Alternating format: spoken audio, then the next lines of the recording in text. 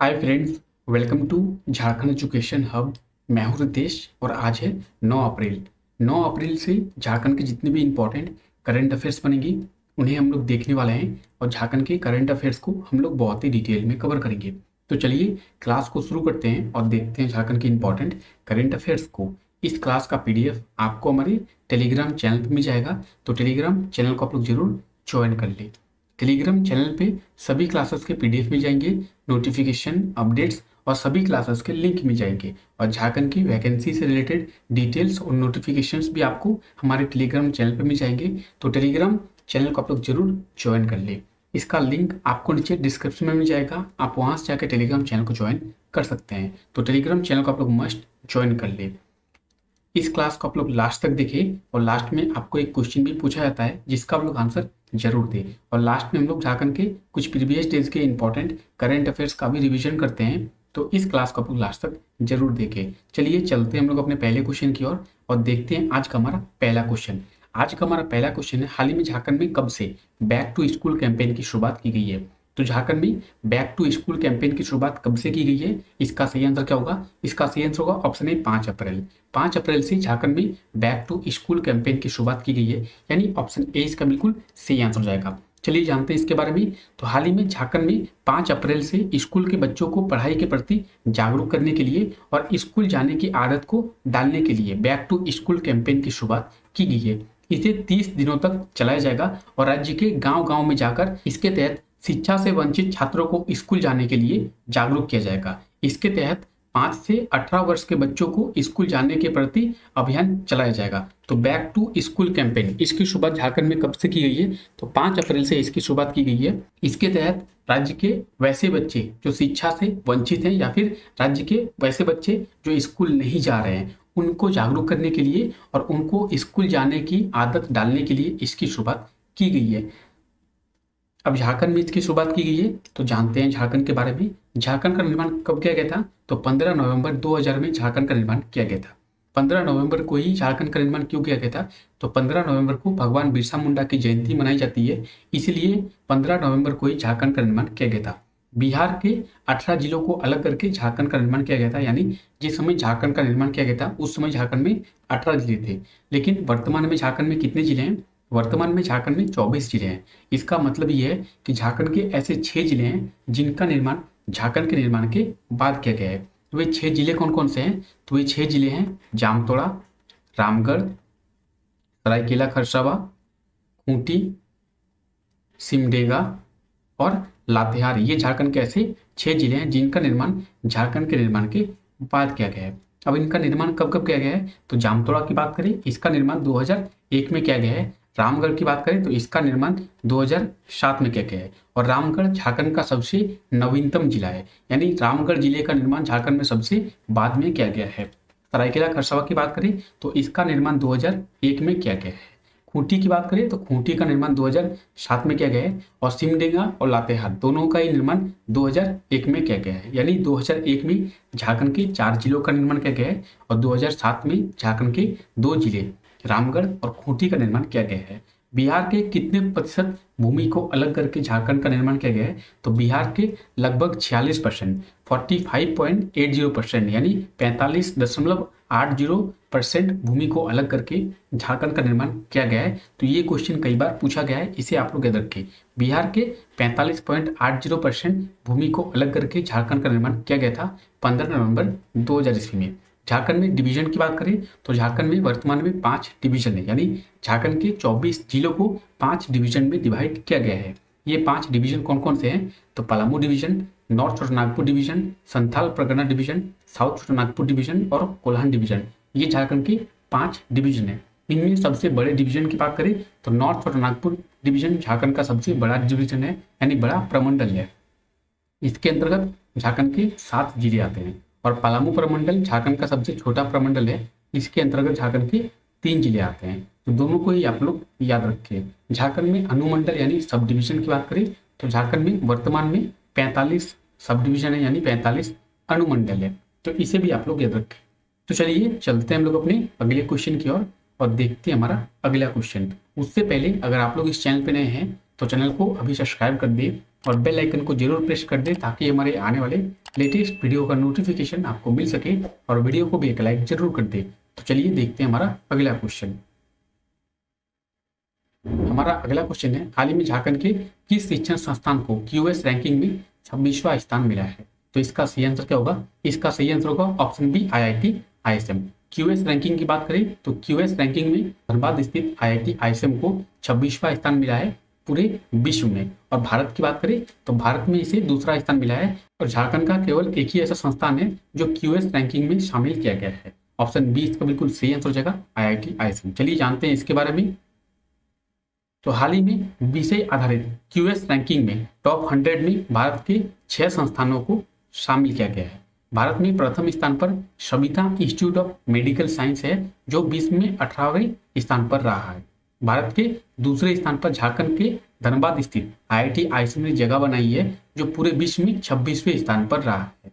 झारखंड से केवल एकमात्र ऐसा संस्थान है, जिसे इस रैंकिंग में शामिल किया गया है। आईआईटी आईएसएम की बात करें तो आईआईटी आईएसएम कहाँ पे है? ये धनबाद में स्थित है। और क्यूएस वर्ल्ड यूनिवर्सिटी रैंकिंग में इसे छब्बीसवा स्थान मिला है। और भारत की बात करें तो भारत में इसे दूसरा स्थान मिला है। आप यहाँ पे देख सकते हैं आईआईटी बॉम्बे को एक स्थान मिला है, आईआईटी दिल्ली को एक स्थान मिला है, इसी तरह आईआईटी बेंगलुरु को एक स्थान मिला है, आईआईटी मद्रास को दो और आईआईटी आईएसएम की बात करें, जो झारखंड में स्थित है, इसे पूरे विश्व में छब्बीसवा स्थान मिला है, यानी ग्लोबल रैंकिंग की बात करें तो इसे छब्बीसवा स्थान मिला है, आईआईटी आईएसएम तो ये है आईआईटी आईएसएम ये कहाँ पे है तो ये धनबाद में स्थित है और इसके फुल फॉर्म की बात करें तो इंडियन इंस्टीट्यूट ऑफ़ टेक्नोलॉजी और इंडियन स्कूल ऑफ़ माइंस इसका फुल फॉर्म है। इसे कब स्टेबलाइज किया गया था?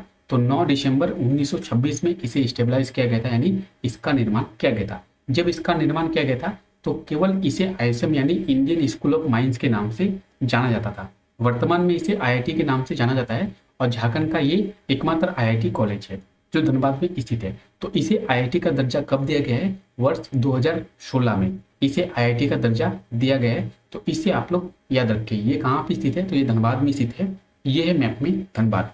धनबाद की बात करें तो धनबाद का फॉर्मेशन कब किया गया था? धनबाद का फॉर्मेशन 1956 में किया गया था एंड 1956 में किया गया था। धनबाद को पहले मानभूम के नाम से जाना जाता था।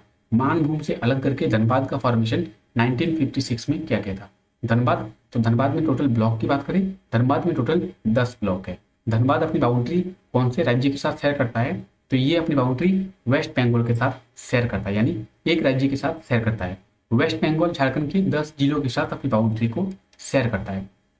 धनबाद की बात करें तो धनबाद, झारखंड के तीन जिलों के साथ अपनी बाउंड्री को शेयर करता है। बोकारो, गिरिडीह और जामतोड़ा, इन्हीं तीन जिलों के साथ धनबाद अपनी बाउंड्री को शेयर करता है। धनबाद तो धनबाद को कोल कैपिटल ऑफ़ इंडिया के नाम से जाना जाता है, यानी भारत की कोयला राजधानी के नाम से जाना जाता है। तो धनबाद को आप लोग याद रखिए धनबाद के टोटल एरिया की बात करें तो दो किलोमीटर स्क्वायर का धनबाद का टोटल एरिया है।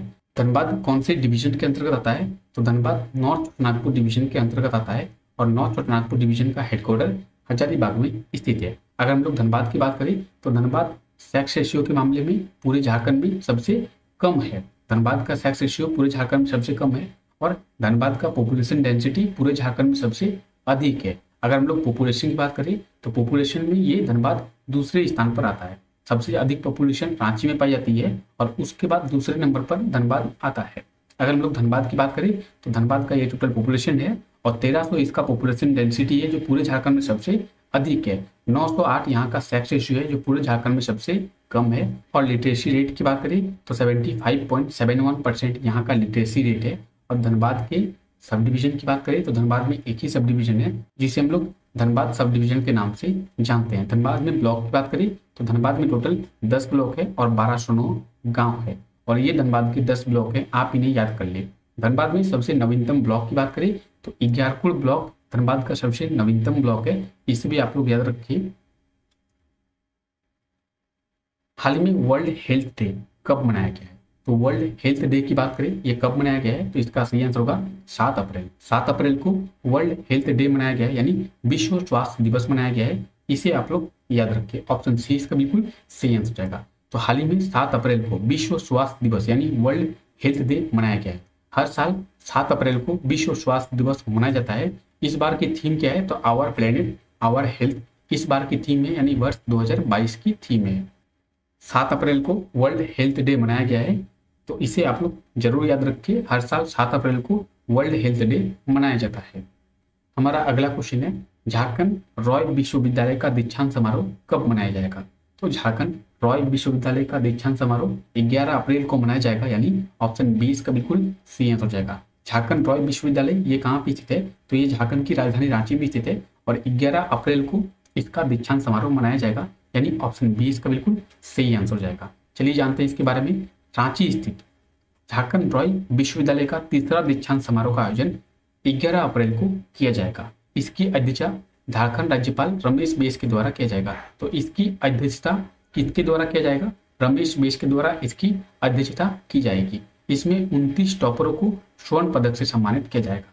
झारखंड रॉय विश्वविद्यालय का दीक्षांत समारोह 11 अप्रैल को मनाया जाएगा। और ये है झारखंड रॉय विश्वविद्यालय, ये रांची में स्थित है। इसे कब स्टेबलाइज किया गया था? तो वर्ष 2011 में इसे स्टेबलाइज किया गया था। अब आप लोगों के लिए एक क्वेश्चन है। अब तक झारखंड के जितने भी यूनिवर्सिटी का दीक्षांत समारोह का आयोजन किया गया है तो आप लोग कमेंट करके आंसर दे कौन कौन सी यूनिवर्सिटी का दीक्षांत समारोह मनाया गया है और वो कब कब मनाया गया है। यानी यूनिवर्सिटी का नाम लिखिए और डेट भी लिखिए, कब उनका दीक्षांत समारोह मनाया गया है। चलिए इसके बारे में आगे देखते हैं। अब ये कहाँ पे स्थित है? तो ये रांची में स्थित है। बात करेंगे रांची की। तो रांची का फॉर्मेशन कब किया गया था? 1899 यानी अठारह में रांची का फॉर्मेशन किया गया था। रांची में टोटल हम लोग ब्लॉक की बात करें तो रांची में टोटल अठारह ब्लॉक है। रांची तो रांची झारखंड की राजधानी है और झारखंड की उप राजधानी है दुमका। ये आप देख रहे हैं मैप में रांची और ये है मैप में दुमका। रांची को झारखंड की शिमला कहा जाता है और झरनों का शहर भी रांची को कहा जाता है। रांची में कई झरने होने के कारण रांची को झरनों का शहर यानी सिटी ऑफ़ फॉल कहा जाता है। रांची तो रांची में दो सब डिविजन है और रांची साउथ और नागपुर डिवीज़न के अंतर्गत आता है। रांची का एरिया की बात करें तो पाँच किलोमीटर स्क्वायर का रांची का एरिया है और अठारह सौ निन्यानवे में इसका फॉर्मेशन किया गया था। रांची तो रांची साउथ चोटानागपुर डिवीज़न के अंतर्गत आता है और साउथ चोटानागपुर डिवीज़न का हेडक्वार्टर रांची में स्थित है। ये कुछ रांची के मेजर लैंग्वेजेस है जो बोली जाती है और पाँच रांची का पॉपुलेशन डेंसिटी है इसे आप लोग याद रखें। रांची में टोटल अठारह ब्लॉक है और रांची में दो सब डिविजन है। रांची और बुंदू रांची के दो सब डिविजन है। इसे भी आप लोग याद रखें और ये है रांची के टोटल अठारह ब्लॉक। इनके पोजीशन को भी आप लोग याद रखें। हाल ही में एडीबी ने, यानी एशियन डेवलपमेंट बैंक ने, वित्त वर्ष, यानी फाइनेंशियल ईयर 2022-2023 में भारत की जीडीपी को कितने परसेंट रहने का अनुमान लगाया है? तो इसका सही आंसर क्या होगा? इसका सही आंसर होगा ऑप्शन डी 7.5 परसेंट एडीबी यानी एशियन डेवलपमेंट बैंक ने फाइनेंशियल ईयर 2022-2023 में भारत की जीडीपी को 7.5 परसेंट रहने का अनुमान लगाया है। यानी ऑप्शन डी इसका बिल्कुल सही आंसर हो जाएगा। हाल ही में एशियन डेवलपमेंट बैंक ये कहाँ पर स्थित है? तो ये फिलीपींस में स्थित है। इसने फाइनेंशियल ईयर 2022-2023 में भारत की जीडीपी को 7.5 परसेंट रहने का अनुमान लगा है जीडीपी की बात करें तो जीडीपी का फुल फॉर्म आप लोग रखिए ग्रॉस डोमेस्टिक प्रोडक्ट जीडीपी का फुल फॉर्म है। एशियन डेवलपमेंट बैंक की बात करें तो इसने भी भारत की जीडीपी को 7.5 परसेंट रहने का अनुमान लगाया है। इसे कब स्टेबलाइज किया गया था? तो इसे 9 दिसंबर 1966 यानी 1966 में स्टेबलाइज किया गया था। इसके भी वर्तमान में प्रेसिडेंट कौन है? तो मसासुक अशकवा इसके भी वर्तमान में चेयरमैन है। और इसके हेडक्वार्टर की बात करें तो मनीला में, यानी फिलीपींस में इसका हेडक्वार्टर स्थित है।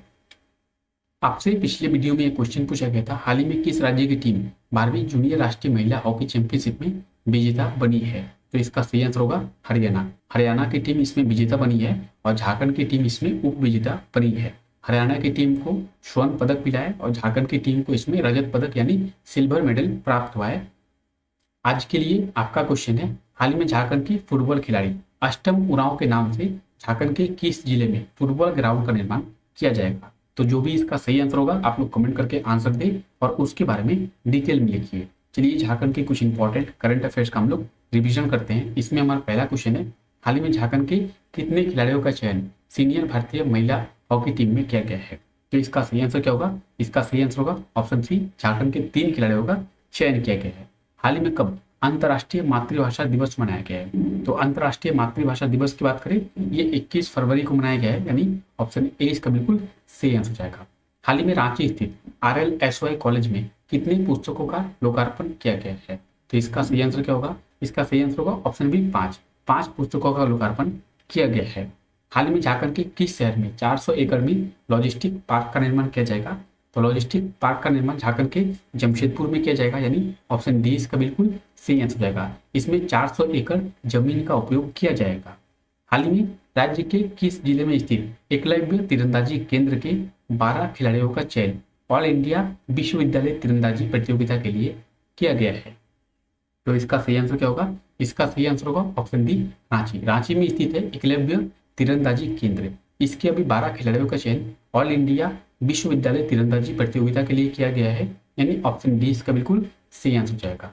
चलिए, आज के लिए हम लोग इतना ही रखते हैं। आई होप आपको वीडियो अच्छा लगा होगा। अगर आपको वीडियो अच्छा लगा है तो वीडियो को लाइक कर दी और चैनल पर नए हैं तो चैनल को सब्सक्राइब कर दे।